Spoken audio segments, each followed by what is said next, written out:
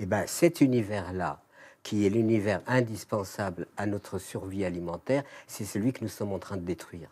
Vous, comprenez? Vous agitez l'eau. L'eau est, est une denrée absolument extraordinaire. Moi, ce qui m'avait frappé, c'est que quand j'étais dans mon désert, l'eau, vous savez, c'était précieux. hein. Il fallait pas faire euh, n'importe quoi avec l'eau. Et quand on vous, offrait un verre d'eau, on vous offrait quelque chose d'extraordinaire. Aujourd'hui, on tire la chasse pour éli- éliminer nos- nos excréments avec l'eau. Donc pour moi, c'est une profanation terrible. Je le ressens en- dans mes cellules euh, de, quelqu'un qui a donné à l'eau une valeur extraordinaire. L'air, n'en parlons pas, on est asphyxié, etc. etc. Et c'est tous ces éléments euh, mis ensemble qui amènent à dire, euh, mais finalement, est-ce que, est que ce, ce système-là peut se propager? S'il se propage, ce ne sera pas possible parce qu'il est milliards d'individus. Alors, il y a de côté une population qui jette, qui jette, qui jette, et on, on- on dit qu'il y a 40% euh, de, de ce qui est produit, c'est du rebut qui est jeté, tandis que les autres euh, n'ont même pas l'in- l'indispensable. Donc c'est une injustice fondamentale, complètement validée par un système international, alors que l'urgence serait quand même de, euh, de, de- de- de introduire cette équité qui permette à chaque être humain ici-bas de- d'accéder au moins à sa nourriture. Et de sortir de ce chiffre hein, que euh, vous citez parmi beaucoup d'autres qui sont glaçants.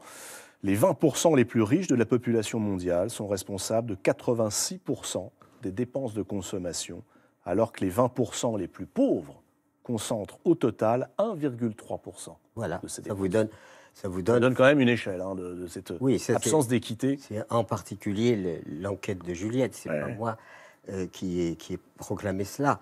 Mais quand on, on- on réfléchit vraiment et qu'on déploie en quelque sorte euh, euh, les choses et, et qu'on voit la condition des uns et des autres, on se rend bien compte que, que finalement l'équité n'est pas là. Alors, je, je reviens, euh, si vous le voulez bien, Pierre Rabhi, Oui. au- au- à la question des, des- des solutions, parce qu'il y en a, vous les proposez, euh, l'agroécologie d'une part, mais pas Oui. seulement, euh, mieux consommer, Première- mieux manger également. La première, le moi, je me suis attaché en premier à la survie de la Terre pour qu'il y ait survie humaine.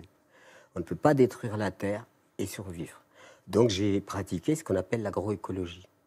L'agroécologie, c'est, elle repart sur un système agraire qui prend en compte la vie de la Terre et ne la détruit pas. Parce que la Terre est pleine de bactéries, de vers de terre, de colomboles, enfin toutes sortes de, de- de- de faune qui travaillent jour et nuit pour que cette terre soit fertile. Et lorsque moi, je mets mes graines dans cette terre, eh ben, tous, les- tous les ouvriers qui ont travaillé pour moi, sans être payés, eh ben, ils favorisent. Et je suis un, agri- un agroécologiste pratiquant. Je ne suis pas un agroécologiste théoricien. Est-ce que vous, utilisez toujours cette légende du colibri? Oui, oui, bien sûr. Parce qu'on a lancé ce mouvement. que j'aimerais bien avec Cyril euh, Mon Dion ami aussi. euh, C'était en, on en l'a 2006. lancé. Ouais. bah, C'était simplement. euh, Que- que- quel, euh, quel bilan tirez-vous aujourd'hui, j'allais dire presque 15 ans après cette, ce mouvement des colibris Vous pouvez peut-être nous rappeler d'ailleurs cette Alors, magnifique légende du rappeler- colibri en deux mots. rappeler au départ Ouais. ce que c'est. Cyril peut parfaitement prendre la suite pour Ouais. dire le bilan général euh, et qui est positif. Euh, un jour, je, je suis en train de lire un texte et je vois cette légende amérindienne qui dit qu'un jour, il y a eu un grand incendie de forêt. Tous les animaux atterrés, euh, découragés, etc. Et le colibri, lui, il va prendre quelques gouttes d'eau sur son- son bec et vient les jeter sur le feu. Ça paraît tellement dérisoire que les autres, le tatou et tout, qui sont en train de l'observer, il dit Colibri, c'est quand même pas avec ces quelques gouttes d'eau que tu vas éteindre l'incendie. Et le colibri se tourne vers eux et lui dit Oui, je le sais, mais je fais ma part. Et ça, tilt, ça a fait tilt dans ma tête.